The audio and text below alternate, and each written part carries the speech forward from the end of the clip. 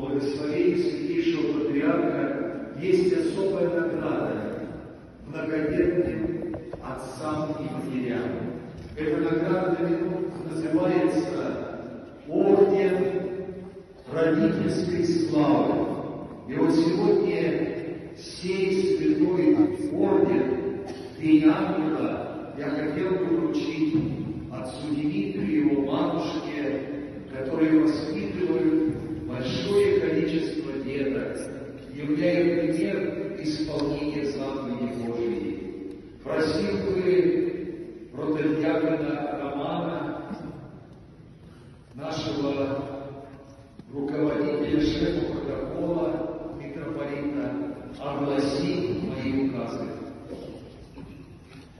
Вам внимание к утрам по духовно-нравственному воспитанию детей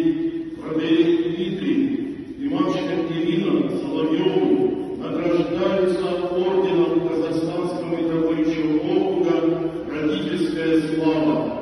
Глава Православной Церкви Казахстана Александр, митрополит Астанайский и Казахстанский.